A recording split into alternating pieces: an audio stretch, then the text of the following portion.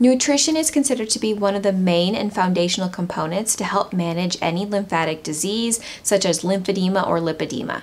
My name is Kelly. I am a physical therapist as well as a certified lymphedema therapist. And on my channel, I talk a lot about the physical therapy components of management of lymphatic health, such as compression, exercise, and lymphatic drainage. But we're going to switch it up a little bit in this video, and I'm going to discuss and share the main components of nutrition and what foods may help improve lymphatic health for lymphedema and lipedema. For more topics related to the lymphatic system and lymphatic health, be sure to subscribe down below, and you can also follow along with us on Instagram.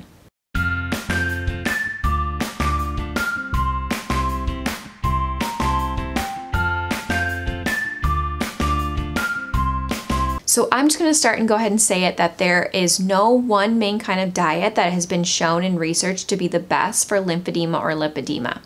This is a much more complex situation. There are a lot of different kinds of diets out there, and every single person is different in what he or she needs. One diet or one food may work better for one person, but may be completely different for another. So, really, the only thing to do is work with your doctor or a dietitian in your local area to find out what works best for you.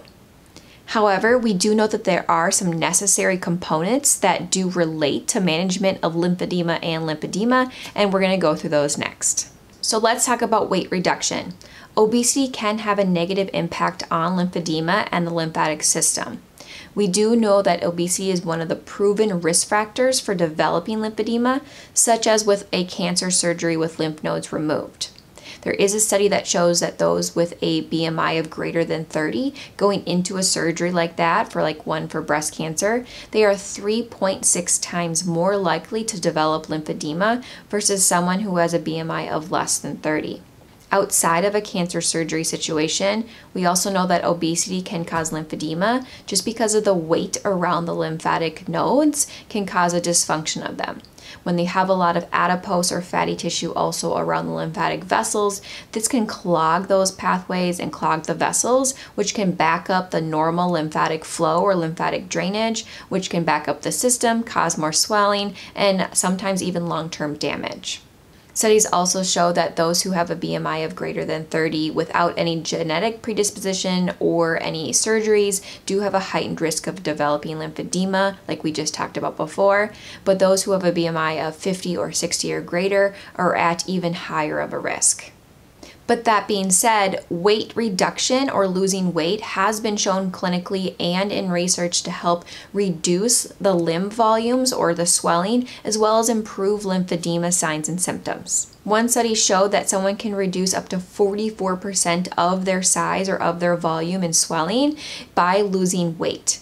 And that study was done for arm swelling, so it is more likely to be even greater from swelling in a leg.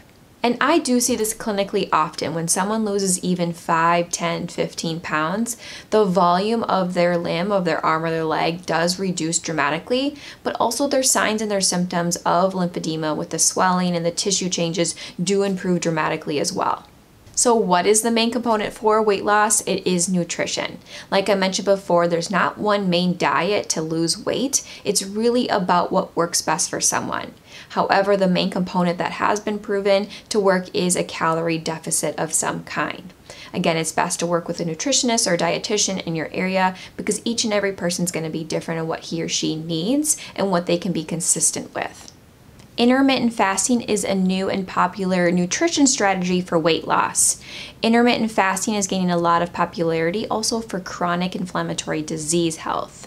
So, intermittent fasting, which means fasting and not eating for either a 24 hour period once or twice a week, or more preferably, it is fasting for 16 hours out of a 24 hour day. It has been shown that it has the same health benefits as well as weight loss benefits as reducing someone's calories. When looking at the studies and comparing the two, the intermittent fasting even had better fat mass loss as well as improved insulin reduction compared to just lowering someone's calories.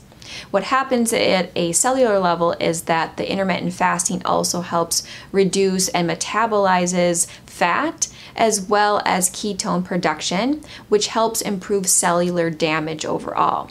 So, when someone is doing intermittent fasting for lymphedema or lymphatic diseases, it may help reduce someone's weight, but also may give some benefit to help improve inflammation in the body. The other main component of nutrition with lymphatics that we can speak about in confidence is with an anti inflammatory diet. Studies are looking more at the relationship between lymphedema and lipedema with the chronic yet progressive inflammation and inflammatory cytokines. Cytokines serve as messenger cells. They are produced by immune cells, which we know the lymphatic system is part of the immune system. Cytokines regulate various inflammatory responses and they work and interact with the immune system to help respond to fighting off diseases and illnesses. So, in order to decrease this inflammatory response and this triggering of the immune system, the idea is to help bring in an anti inflammatory diet to limit stress on the body. The most well known anti inflammatory foods out there are things like blueberries or leafy green vegetables or healthy omega 3 fat sources like salmon. Pro inflammatory foods, which means ones that cause inflammation that we want to avoid, are things like sugar and caffeine and processed baked goods. Now let's talk specifically about lipedema. Lipedema is a condition that causes an accumulation of excess fatty tissue in the lower body. Specifically is usually from the hips down to the ankles, but it does not involve the feet. Lipedema can be a genetic condition, but it is not obesity and is mostly caused in women. Lipedema is not also lymphedema. However, if lipedema does progress to a certain state, it can clog and block the lymphatic vessels, which can cause lymphedema and a further backup of swelling. Although the adipose and fatty tissue caused by lipedema cannot simply be lost with exercise and diet alone, it is important to partake in these things daily. So, light, gentle movement or exercise each day, as well as a healthy anti inflammatory diet to help avoid progression or worsening of the condition. There are other resources and books and additional information and speculations on what foods and nutrition are best for the lymphatic system, and I will place some links for those resources down below that someone can check out further.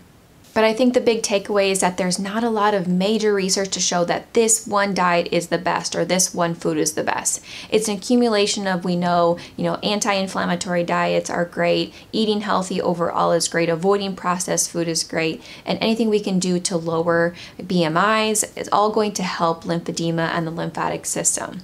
But right now, it's best to work with a nutritionist or a dietitian or a doctor to find what needs you have and to find what kind of diet and what kind of foods work best for your needs. And hopefully, in the future, more larger studies come out to really define what is the best nutrition for the lymphatics. So, again, be sure to subscribe down below for more videos related to lymphatics and lymphatic health. And I will see you all next week for another video. Thanks, everyone.